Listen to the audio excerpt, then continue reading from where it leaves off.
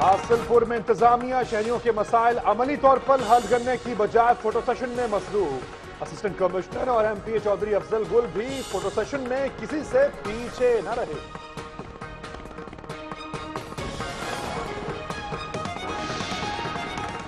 حاصل پور انتظامیہ شہریوں کے مسائل عملی طور پر حل کرنے کی بجائے فوٹو سیشن تک محدود کر رہی ہے۔ چیئرمین بلدی اسپتال عملہ سکول پولیس اسسٹنٹ کمشنر اور تو اور حاصل پور کے M P S Chaudhry Afzal Gill بھی فوٹو سیشن میں کسی سے پیچھے نہ رہے۔ اسی حوالے سے رپورٹ کر رہے ہیں حاصل پور سے عبد الرشید تو کھچ میری فوٹو تو کھچ میری فوٹو تو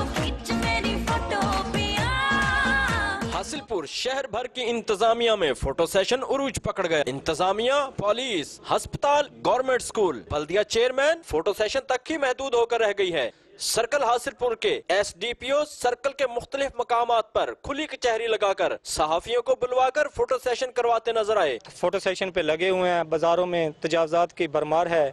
ہم انتظامیہ سے پرزور مطالبہ کرتے ہیں کہ وہ فوٹو سیشن سے باہر نکلے اور شہر کے مسائل پر توجہ دے۔ چیئرمین بلدیہ اور اسسٹنٹ کمشنر بھی شہر میں فوٹو سیشن کی حد تک ہی محدود دکھائی دیتے ہیں۔ اور M P S standing committee برائے زراعت پنجاب تو فوٹو سیشن میں اس حد تک مدہوش ہو گئے کہ قیدیوں کی مشکلات پوچھنے گئے تو خود بھی فوٹو سیشن میں قیدی بن کر رہ گئے۔ انتظامیہ اپنی کارکردگی بہتر بنانے کی بجائے سب اچھا کی رپورٹ کے لیے فوٹو سیشن کو چھوڑے اور شہر کے مسائل کو ہنگامی بنیادوں پر حل کروانے کی طرف توجہ دے۔ کونسلر سے لے کر اے سی صاحب تک تمام فوٹو سٹیشن سیشن پہ لگے ہوئے ہیں۔